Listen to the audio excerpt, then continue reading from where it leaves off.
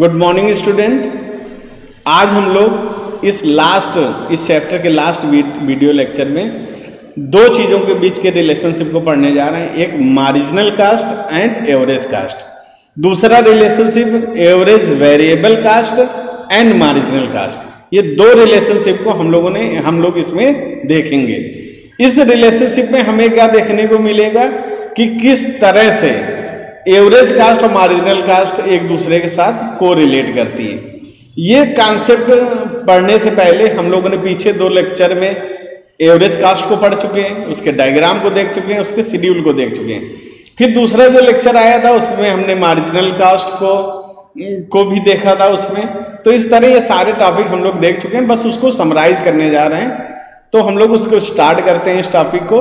तो हम लोग इस टॉपिक को स्टार्ट करने से पहले एक कॉन्सेप्ट जो पिछला कॉन्सेप्ट है, वो था marginal product and average product को। उस कॉन्सेप्ट को आप लोग अगर आप सभी को याद होगा तो उस कॉन्सेप्ट में आप देखेंगे कि कॉन्सेप्ट में क्या हुआ करता था, कि जब हम उस कॉन्सेप्ट को लेते थे तो सबसे पहले चीज़ क्या आती थी मार्जिनल प्रोडक्ट था, वो ज़ीरो से स्टार्ट होता था अपवर्ड जाता था, और फिर उसके बाद वो डाउनवर्ड स्लोप में आ जाता था। इसी तरह से एपी जो था, वो ऊपर से जाता था और नीचे आ जाता था। आप लोगों को ये मैं इसलिए बता रहा हूँ कि जो हम लोग एसी और एमसी को पढ़ने जा रहे हैं, वो जस्ट इसका उल्टा होता है। जस्ट उल्टा का मतलब क्या? ये डायग्राम अगर इस तरह से हमने बनाया था तो वहाँ पर एमपी को इसका जस्ट उल्टा बनाएँगे एसी का इसका जस्ट उल्टा बनाएँगे और इस तरह से ये एसी बन जाएगा और ये एमपी एमसी बन जाएगा। तो ये इस तरह के हम लोग कॉन्सेप्ट को इसमें देखेंगे, किस तरह से इसका फॉर्मेशन हो रहा है और किस तरह से ये बनेगा। तो इसको स्टार्ट करते हैं हम लोग, इस कॉन्सेप्ट को। और कॉन्सेप्ट को स्टार्ट करके देखते हैं कि इसका फॉर्मेशन किस तरह से हो रहा है। तो relationship between AC and MC इन दोनों के रिलेशनशिप में आपको दिखाई दे रहा होगा कि both AC and MC are derived from total cost AC refer to the total cost per unit of output and MC refer to the addition to the TC one when one unit of output is produced इसका, जो concept था, ये concept जब हम लोगों ने इसको देखा था तो यहाँ, हम दोनों एक ही से डिराइव कैसे होते हैं? जब सी निकालना हो रहा था तो हम क्या करते थे? TC divide by quantity of output और उसी तरह जब ए बी सी निकाल उसका क्या कहते हैं एमसी निकालना होता था हमें तो एमसी क्या करते थे? क्या करते थे? T C N minus T C N minus one इस तरह से इसको हम लोग निकालते थे। तो ये दोनों ही एसी हो चाहे एमसी हो, ये दोनों ही कहाँ से डिराइव हो रहे हैं? टोटल कास्ट से। बोथ एसी एंड एमसी कर बार यू शेप्ड यू शेप ये दोनों इसलिए होते हैं कि अभी इसको हम लोग जब इसको अच्छे से एक्सप्लेन करेंगे शेड्यूल के साथ में तो आप शेड्यूल में इसको देखेंगे कि किस तरह से ये यू शेप्ड होता है। तो यहाँ पर एक शेड्यूल मैंने लिया हुआ है। शेड्यूल में क्या दिया गया? आउटपुट जिसमें zero one two three four five इस तरह से यूनिट बढ़ रही। फिर टीसी दिया गया ट्वेल्व है एटीन है ट्वेंटी टू है ट्वेंटी सेवन है थर्टी सिक्स है फोर्टी सेवन है एसी जो है एटीन है इलेवन है नाइन है। नाइन है, फिर नाइन पॉइंट फोर है। क्योंकि एसी ऐसा क्यों है?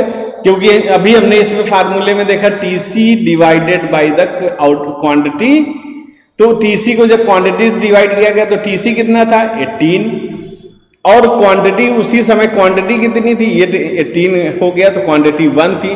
तो 18 डिवाइड बाय 1 कितना आ गया? 18 इसी तरह से आप देखोगे 22 था तो 22 डिवाइडेड बाय 2 तो 11 आ गया 27 डिवाइडेड बाई थ्री नाइन आ गया 36 डिवाइडेड बाई फोर नाइन आ गया 47 divided by five nine point four आ गया। और एमसी कैसे निकलता है? इन दोनों के बीच का डिफरेंस क्योंकि अगर यहाँ पर एमसी निकालना है तो 18 is the T C N और उसके जस्ट ऊपर वाला क्या होगा? T C N minus one इसी तरह जब सेकंड में आएँगे तो ट्वेंटी यहाँ पर निकालना है तो 22 क्या होगा? टी सी एन और उसके जस्ट ऊपर वाला क्या हो जाएगा? T C N minus one तो इस तरह से ये हमने एम सी को निकाल लिया।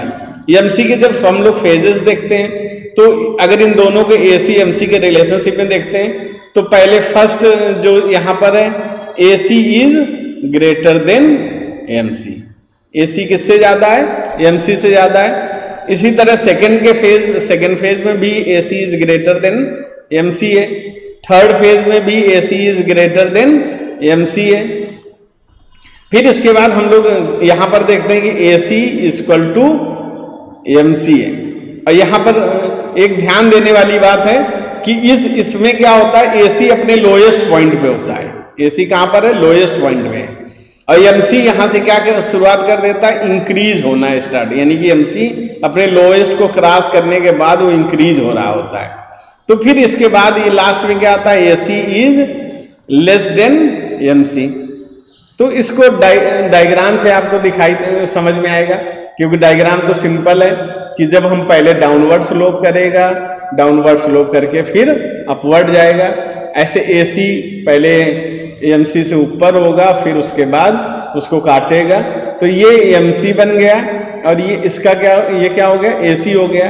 तो यहाँ पर क्या हो रहा? पहले when MC decreases AC also decreases after some time MC start increases and it cut the lowest point of AC after that both start increases but increasing rate of increasing rate of M C is greater than A C तो आपको इस schedule से भी दिखाई दे रहा है और ये इससे भी दिखाई दे रहा। है इसके बाद हम लोग इसके जब सेकेंड स्लाइड में जाएँगे तो सेकेंड स्लाइड में हमें क्या देखने को मिलेगा? Relationship between A B C and M C यहाँ किसके बीच का रिलेशनशिप है? A B C and M C और सेम रिलेशनशिप है, यहाँ कोई भी चीज़ नई नहीं है, बिल्कुल वही चीज़ है जो हमने relationship between A C and M C के बीच में पढ़ा था। तो यहाँ पर भी क्या होगा both A B C and M C are derive from TBC वहाँ पर ए बी सी था, उसको कहाँ से डिराइव किया था? हमने टी सी। तो यहाँ पर ए बी कहाँ से डिराइव होगा? T C. से एमसी को हम लोग दोनों से डिराइव कर सकते हैं। पीछे भी हमने देखा हुआ था यहाँ पर हमने इसके एक एक और फार्मूला होता है एमसी को फाइंड आउट करने का। एमसी इक्वल टू क्या होता है? टी सी एन इसको टी सी की बजाय हम लोग क्या ले सकते हैं यहाँ पर? T V C N minus T V C N minus one यहाँ पर इसका एम सी निकालने का एक फार्मूला बदल गया। वहाँ T C N minus T V से T C N minus one था। तो यहाँ T V C N minus T V C N minus one होगा। दो, वहाँ पर भी इन दोनों कैसे यू शेप्ड थे, यहाँ पर भी होंगे, क्योंकि यहाँ पर भी थ्री फ़ेज़ ही हमें दिखाई दे रहे हैं। फ़र्स्ट जो था, उसमें तो फ़ेज़ में हमें कोई लेना देना नहीं है।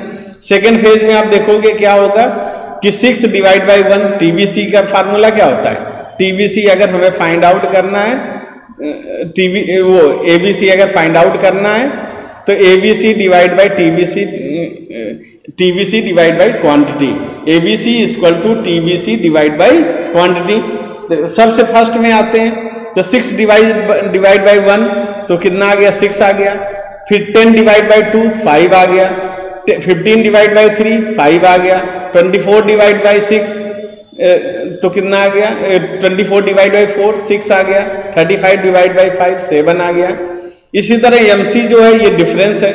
तो six minus zero six ten minus six four fifteen minus ten five twenty four minus fifteen nine और इसी तरह thirty five minus twenty four eleven हो गया। तो यहाँ पर भी क्या बनेगा? बिल्कुल उसी तरह। बस केवल एक चेंज रहेगा यहाँ पर। फ़र्स्ट पॉइंट में दोनों हमेशा क्या होते हैं? बराबर होते हैं। क्या? A B C equal to M C. ये दोनों यहाँ पर बराबर होते हैं। फिर इसके बाद क्या हो जाता है? क्योंकि स्टार्टिंग दोनों की सेम पॉइंट से होती है, जब यूनिट वन होता है। इसी तरह फिर ए बी सी क्या हो जाएगा? ग्रेटर देन एम सी फिर इसके बाद A B C equal to M C हो जाएगा।